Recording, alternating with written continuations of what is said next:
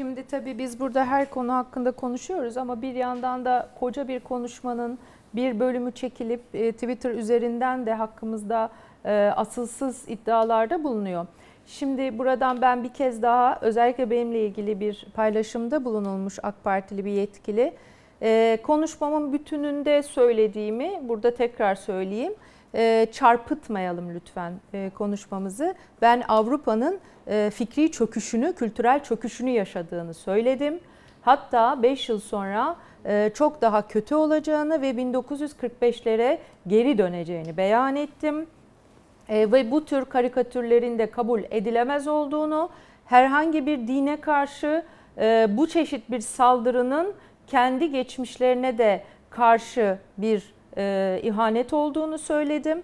E, aynı zamanda da orada belirttiğim mevzu Almanya'nın kendi içinde de kendi kanunlarında da Nazileri savunmak, işte Hitler'i savunmak ve o felsefeyi savunmanın suç olduğunu beyan ettim. Yani kendileri bunu suç beyan etmişler zaten. Karşılar yani. Bunu savundukları bir şey değil. Yani onu söyledim orada. Ama ya şu an içinde bulunduğumuz e, ortamda kendinize, kendi ülkenizden bugüne kadar namusuyla, şerefiyle, haysiyetiyle yaşamış yurtsever insanlarını hedef göstererek bir çıkış noktası arıyorsanız bu çok yanlış. Çok yanlış. Lütfen konuşmaları bir baştan izleyin. Ne bu kanalı ne bizleri bu şekilde hedef göstermeyin. Bu çok tehlikelidir. Biz burada hepimiz söyledik. En, yani ben ilk konuşmayı ben yaptım. En çok da ben söyledim.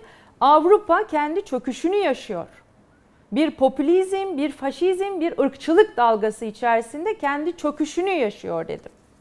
Ama elbette ki Cumhurbaşkanı'nın sözleri e, ağır kaçmıştır. Çünkü kendileri için e, kendileri reddediyor. Yani Almanlar Nazi zaten Nazi e, düşüncesini, fikriyatını, e, Hitler'i onlar kendileri reddediyor dedim. Söylediğimiz bu. Zaten hepsi kayıtlarda var. Eğer programın başından sonuna izlenebilirse Sayın Erol Mütercimler'in de Sayın e, Ahmet Yavuz'un da burada, Aytunç Erkin'in de, İsmail Saymaz'ın da, Barış Yarkadaş'ın da, Özlem Gürses'in de bu konu hakkında ne söyledikleri Bakın bu da zaten bir baskı. kayıtlarda var. Bakın, hayır yani söyleyelim hayır, hayır ama bir şey sürekli Bak, olarak kanalı kapatmakla bir şey ilgili bir e, İnsanlar, prosedür e, anladım. E, Troller de buradan kendine fırsat çıkarmasınlar. Arkadaşlar yani bu kadar sorun varken, bu kadar sorun varken bizlerle mi uğraşmayı, uğraşacak bizi mi buldunsa?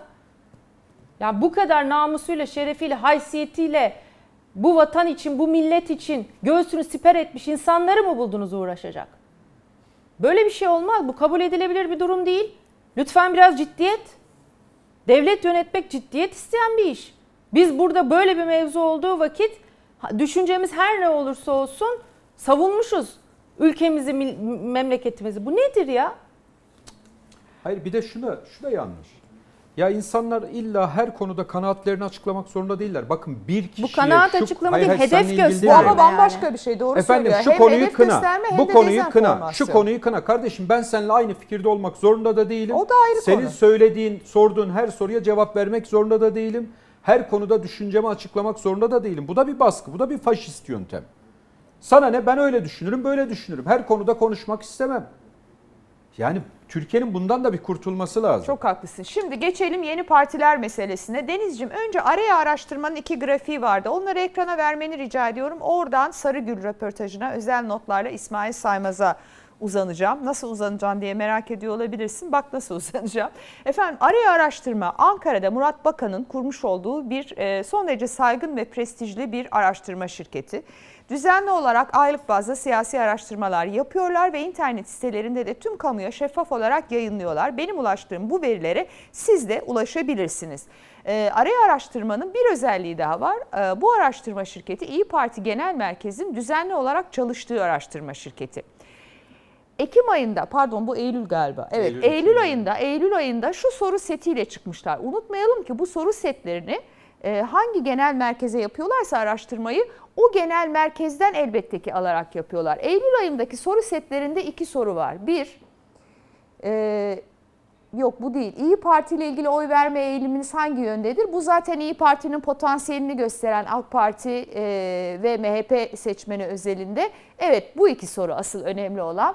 Sizce İyi Parti siyasi hayatına nasıl devam etmelidir diye sorulmuş ve altındaki seçenekler şunlar. Tek başına siyaset yapmalıdır ittifaklara girmeden. Millet İttifakı'yla devam etmelidir yani CHP ile.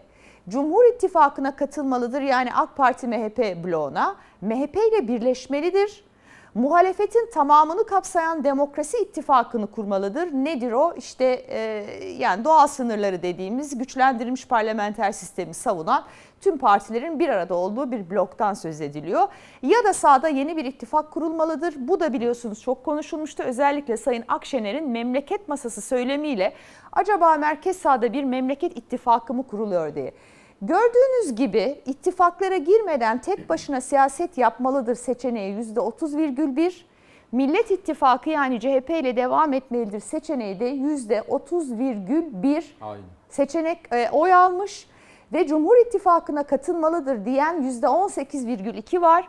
Bu tablonun kırılımını tam ekrana verdiğimiz zaman tam tam ekran olarak verirseniz aşağıda da izleyicilerimiz altyazıyı da alırsak şunu görebilirler. AK Parti seçmeni ve MHP seçmeni arasında Cumhur İttifakı'na katılmalıdır. Yani bizim aramıza gelmelidir diyen e, yüzdeleri görebilirler. AK Parti seçmeninin %35,2'si İyi Parti bizim tarafa geçsin diyor. MHP seçmeninin de %32,5'i bizim tarafa geçmelidir diyor. Bu arada MHP ile birleşmelidir diyen %34,1 oranında bir MHP seçmeni olduğunu da dikkatinize sunalım. İkinci grafik gelsin. O da biliyorsun gene e, İyi Parti evet. Ha bu muydu o? Peki. Bu ikisi. Şimdi İsmail bunu da yorumlamak isteyen olursa bu grafikleri yoruma açıktır. Yeni bir parti mi geliyor ve bu parti Cumhur İttifakı'na mı katılacak Sarıgül'ün Galiba partisi? Murat Karan'ın. Karan affedersin. Murat Bakan Bakan'ın dedim değil. değil. mi? Murat Karan evet. Evet. ben e, gelmezden evvel e, Metropol Araştırma Şirketi'nin sahibi e, Sayın Özer Sancar aradım. Ve bu ayki son araştırmasını sonuçlarını sordum. Henüz hazırladıkları daha yeni çıkan araştırmada AK Parti ilk kez kararsızlar dağıtılmazdan evvel 30'un altına düşmüş. 28 buçuk bandına düşmüş.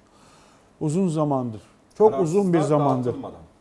Dağıtılmazdan önce bugüne kadar hep 30-31 bandında takılı kalıyordu. İlk defa 28-28,5 bandına gerilemiş. Ee, Araştırmada dikkat çeken husus AK Parti'nin oyu gerilerken CHP'ninki de gerilemiş. CHP'de %17 bandına doğru gerilemiş. Kararsızlar dağıtılmazdan önce. İyi Parti'de küçük de olsa bir ilerleme söz konusu. İyi Parti %11,5-12 bandına doğru, 11 bandına doğru ilerlemiş. Kararsızlar dağıtılmazdan önce.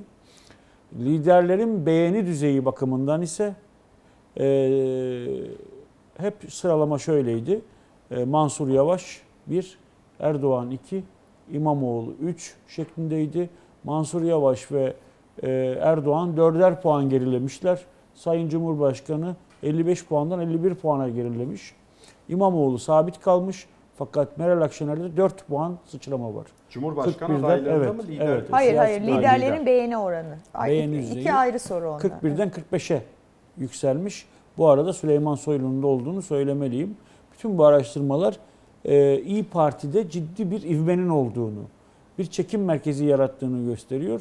Aslında İyi Parti'den çok Meral Akşener'de öyle bir çekim merkezi e, oluşturma kabiliyeti var. Bir de çokça Anadolu'yu geziyor. Herkesten önce Anadolu'yu gezdi. Yani Muharrem İnce'den, Davutoğlu'ndan, e, Ali Babacan'dan önce Anadolu'da ikinci, üçüncü turunu atıyor. Doğru. El sıkmadı, kimseyi bırakmadı.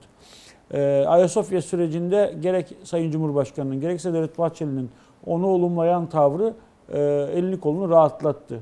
Şurada FETÖ ihtamına kurtulmuştu ki önüne bu hadise geldi. Ben Sayın Sancar'a, Özer Sancar'a dedim ki Azerbaycan gündemi var. Azerbaycan gündemi Sayın Cumhurbaşkanı'nın oyunu yükseltmez mi? Şu aşamada hiçbir şey yükseltmez diyor. Çünkü e, ekonomi hani hep e, tencere iktidarı devrilir derler- derlerdi. Galiba AK Parti ilk kez onu yaşıyor şu an. E, Türkiye'de şu an bunun altını çizerek söylüyorum. ikinci parti yani ana muhalefet kararsızlar. Tabii 30 puan. Evet. %25'in üzerine çıkmış. İlk defa 2005 yılından bu yana ilk defa e, e, kararsızlar grubu ana muhalefet oluşturuyor. E, ve kararsızlara her geçen gün kütlesel halde e, AK Parti seçmenleri akıyor ama CHP seçmeni de akıyor. Burada da bir CHP seçmeninde de bir arayış, bir kararsızlık olduğunu eklemeliyim. Şimdi e, bu veriler gösteriyor ki e, tabii Özer Sancar'a şunu da sordum. Yani peki AK Parti nasıl toparlayabilir karar seçmenini? İşte Avrupa ile yaşayabileceği bir kriz etki edebilir dedik ki zaten Fransa ile de bir kriz yaşıyoruz. E, ama e, öte yandan bence İyi Parti'nin başına gelenlerin bir sebebi de bu yükselişin herkes tarafından görünür ve bilinir hale gelmesi e, diye düşünüyorum. O bakımdan FETÖ meselesine bir geçerken bir değinmek isterim. Sonra Sarıgül'e girmeyi gerekli görüyorum.